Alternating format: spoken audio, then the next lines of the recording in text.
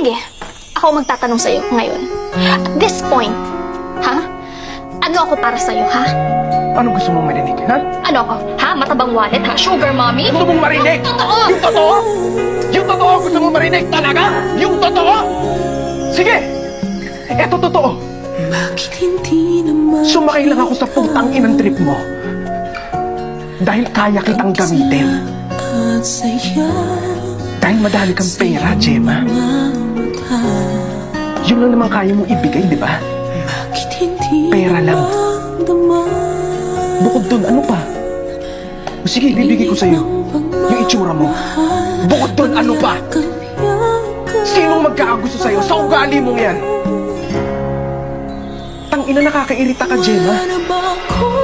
Sobrang desperado mong tao. Alam mo kung bakit may gusto sa'yo mga tao?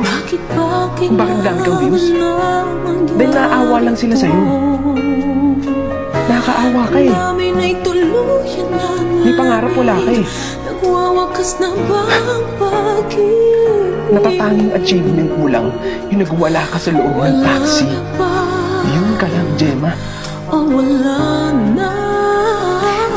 na mukha mo. talaga Eh, Anong achievement mo, ha, James? Maging linta?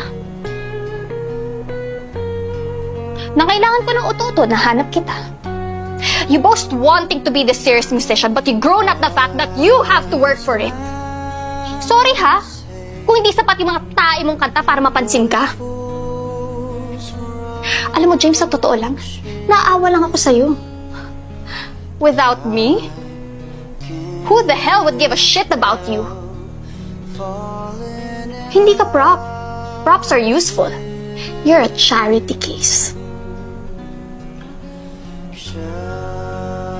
Now, if you still want to enjoy what you enjoy, thanks to me, you better start carrying your fucking weight.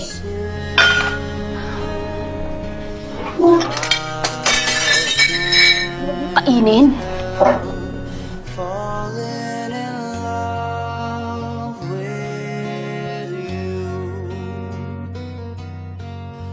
Like a river flows surely to the sea.